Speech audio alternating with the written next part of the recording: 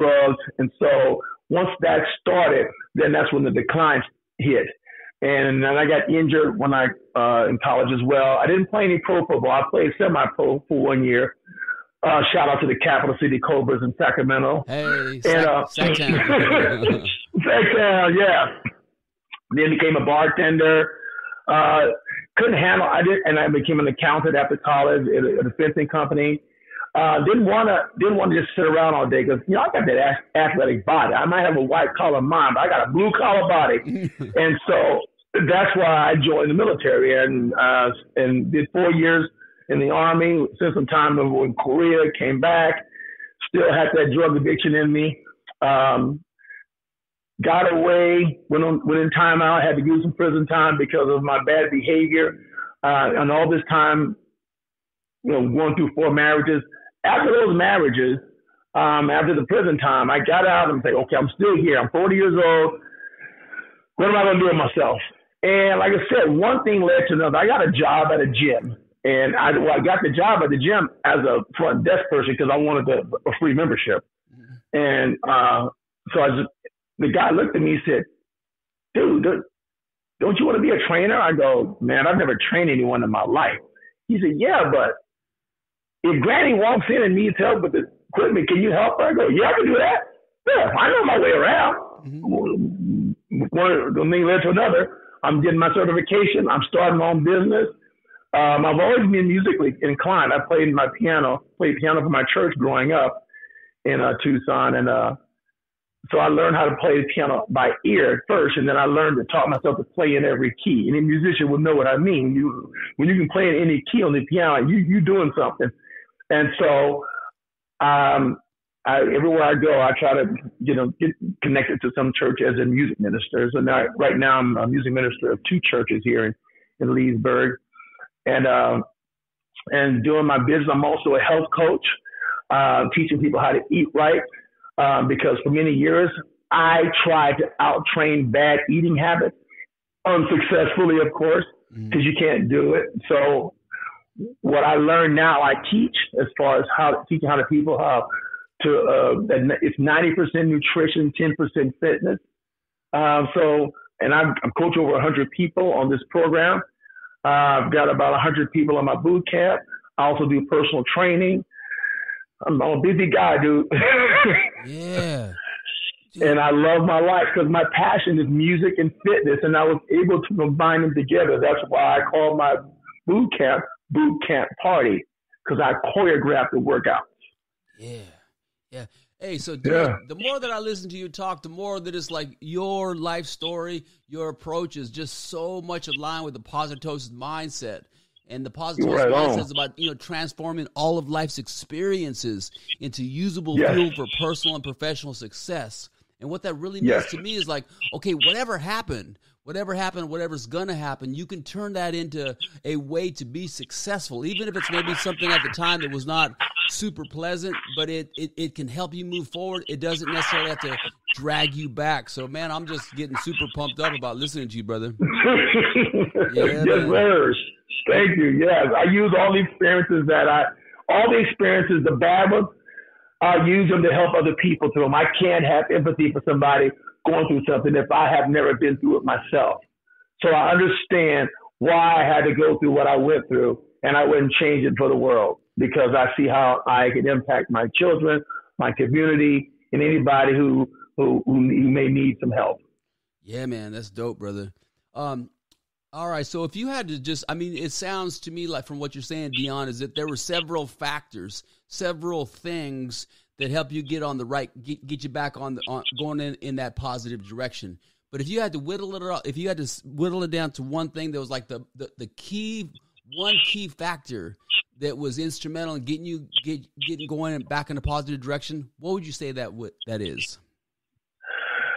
Oh wow! You know, Chris, it's there, it's actually two. There's, there's gratitude for being able to um, just be here still through it all. And then there's a certain amount of humility. Um, I'm very humbled that I'm able to be here today because I never thought I'd make it this far.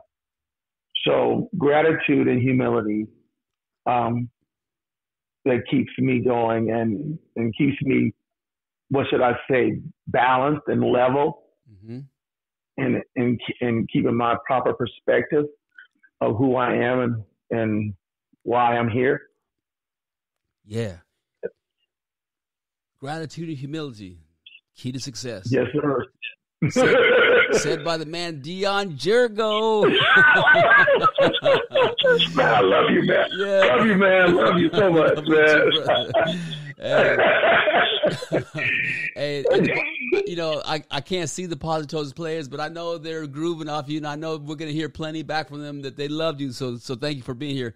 Um, so, so next one, it, to me, it's a really big one, an important one, and I think that you might have touched on already. But talk to me. Do you use do you use do you use visualization? Hmm. Visualization. I, I, I'm trying to I'm trying to sit here and see that I do. I do visualize every morning when I'm in meditation. I visualize situations. I visualize um, what I want to do during each day. Um, um, and then that comes through, you know, constant routine. What I visualize, I do.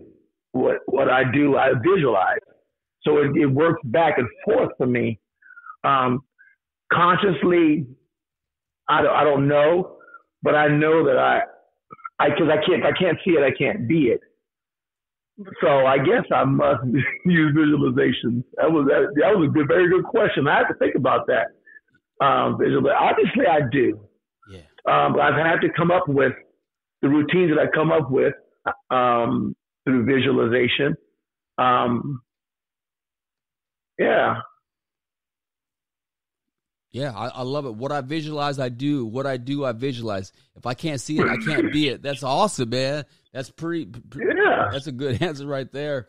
Um, so you know, one of the things, Dion, as we were growing up back in the day, that I noticed about you, and this is this was just my perception and my perspective on you. One of the things that I really enjoyed about you, one way that you really affected me was, I mean, granted, you were an elite athlete, of course. So, so okay, but besides that, though, one thing that I that I that I saw about you that that really helped me was it felt like you had this confidence about every and you know you you I mean like you said before you were baseball, basketball, football.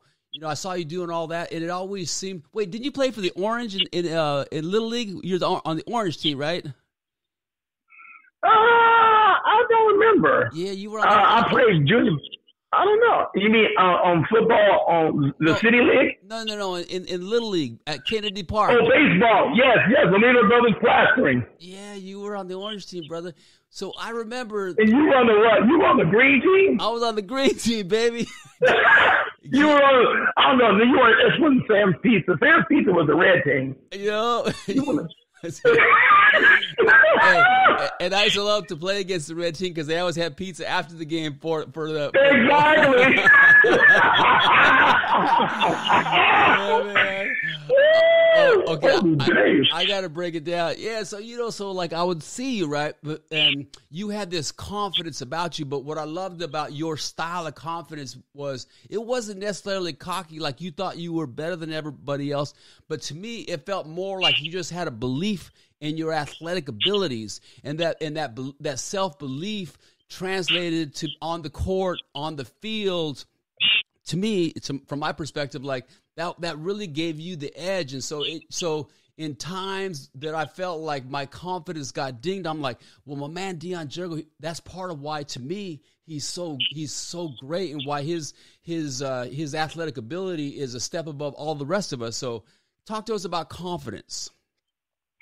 You know, I remember being. Um, funny you should ask that. I remember always thinking, I don't care how big the guy across from me was, I just believed I was better. Mm-hmm. I said, I can do, if you can do it, I can do it. there was, and, and I'm serious, I just had to believe. If, any, anybody can do it, if anybody else can do it, I can do it too. I just had that feeling. My mother used to always say, we try to help you put something together. You go, no, I do it, I do it, I do it. and, and that's, I remember when I was preparing to go into the military, I wanted to get in shape. And I thought, you know what? People run 26 miles. If they can run 26 miles, I can walk 26 miles. So I had I had a relative that lived over by Saguaro High School. Now, you know where Saguaro High School is, right? Way out there. I would go spend the night over at that relative's house, and I'd walk from Saguaro to Troya. Dang, that's a walk, brother. yeah, that is a walk. That's a walk, ain't it? That's a walk. I would walk from. so I had this belief that if anybody could do it, I'm human to like the next person. I believe I could do it, and so I was not afraid to compete and and and, and hurt my will or everybody. I don't know why where it came from. It's just, it was just in me. Um, I don't know if my parents taught me that or what, but I just walked on the field thing. I'm gonna beat you. yeah, yeah. So and I'm glad you were able to pick that up. Yeah, and it, it really helped me. So positosis players out there, you hear that, like, you know, Dion is talking about competing, like having that self belief. Man, this is awesome. Hey, so we're we're kind of winding we're we're winding down here a little bit to the end, but I do want to talk. To, I, I, there's one super important question that I want to pose to you next. Yes, sir. So yes. you know, there, there, there's some players out there that have reached out to me and that have have shared with me that maybe their mindset at the moment is not in that positosis mindset. It's not there. It's someplace else, but it's certainly not there. So my question to you is, for the positosis players, how can somebody change their mindset? What are some tips to resetting their mindset? You know, I tell people always speak positive, even if you don't believe it, because your body believes what your mouth tells it. Mm-hmm. You've got to just speak it. Say it, even if you don't believe that you can do something. You just say it. I can do this. I can I can beat this. I can I can I can uh I can do this presentation tomorrow. I can pass this test. You just say it. I can study hard. I can make it. I can train hard to be the best. You just say it. And what what what happens is action follows thinking, not vice versa. Say it and then go do it. Just say it. Say it to yourself. I don't care if you have to just say it like a mantra, right on the chalkboard, right on the mirror. Michael Jackson wrote on the mirror that he's going his next album was going to sell 100 million copies. But whatever you have to do, you got to tell yourself until you can believe it. But you, it, it starts. I, I, I believe that power starts in the tongue because your mind will screw you up. Your mind, if you let your mind I, I tell people, I don't go, I don't, I don't go inside my head without adult supervision. It's just no, no. I get a second opinion, but uh, yeah, uh, and, and, read good books, read positive books, uh, read, you know, uh, listen to positive podcasts, look for something positive around, try to find anything positive. Um, but don't wallow in negativity because if you want to, I mean, it's so easy to, Chris it is so easy. I see it all the time. People just come at you and then you can tell they're just dragging that cloud over their head. And I just, I combat. I said, no, that's not the true story. That's not the finality. You're better than that. And I just start speaking positivity into them. And another thing you can do is speak positivity to other people. Encourage someone else. Yeah. Then it comes back on you. Yeah you know, and Dean, especially as, as, as we're in the times, brother, that we're in right now, as as a planet, as you know, the, the whole globe, we've been we've been going through some stuff all together, and and there seems yeah. to be a tendency maybe not to focus on the positive. So I love these words. Power starts with the tongue. Action follows thinking. Read positive books. Yes. Oh, yes. hey, my man, you forgot the most important thing. They got to tune into the Positosis podcast, baby. Come on now. Yes, that's right. Come on now. Come into the Positosis. yes, sir. Lest we forget. Yes. tune into the Positosis. I love that word. Did you come up with that word? I did, my man. And so, so you know, I just I. So you know, like wow. What I was, it all came when I was thinking about like how did I learn all the things that I love? Like I love to swim, I love to surf, I love to play basketball, and I was always thinking like, how did I really learn that? And and I learned it from positosis. I learned from going to the park, playing ball with dudes like you. You know, basically just through osmosis, and so I was thinking about being yes. positive, so it kind of rhymes together. So that's how that came together. So I was like, you know what? I'm